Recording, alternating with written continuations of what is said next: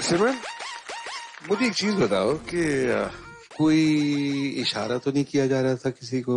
नहीं सर। क्योंकि बात यह है कि कभी जुल्फे इधर आ रही थी और कभी पीछे जा रही थी।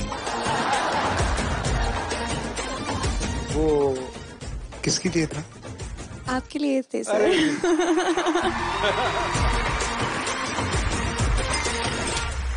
रूठे हुए हो क्यों? मिलके जुदा हो क्यों? कुछ कहो कुछ सुनो। ऐसे बैठे हो क्यों?